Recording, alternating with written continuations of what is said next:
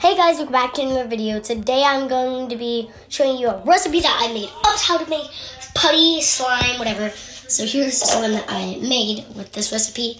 It is a very pretty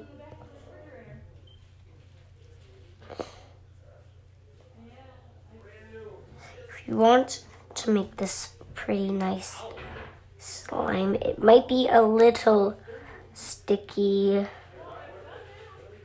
but you might want, you can add flour if you want to the slime. I'm sorry, my, uh, I'm not really mixing it anymore, but okay, hold on, I gotta wash my hands because it's a little sticky. Actually, no, I don't, I don't want to wash my hands. I'm just gonna do that. So, first, you're gonna need some hand soap. You do, like, it's gotta be thick hand soap and you need some salts, and you need some contact solution.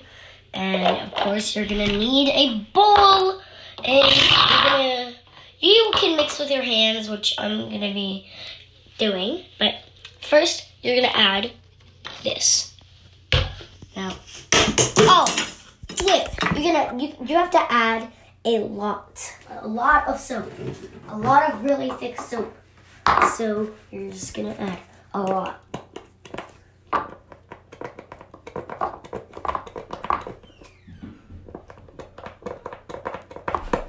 A lot. And then you're gonna add some salt. If I were you, I'd probably add a lot of salt.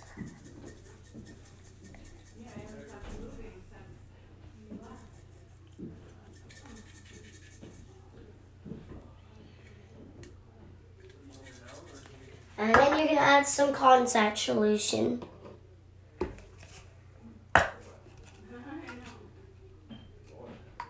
Then you're going to stir. It's already activating.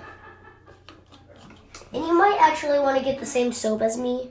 So you might want to get the same soap as me. I have no idea where I got it. My parents got it. You can look for it in you actually have slime right now. See? You have got slime. Beau beautiful slime. So, thank you guys for watching this video. Hope you enjoyed. And don't forget to hit that like button subscribe, and I'll see you next time. Goodbye. Oh my god, my hands are so sticky.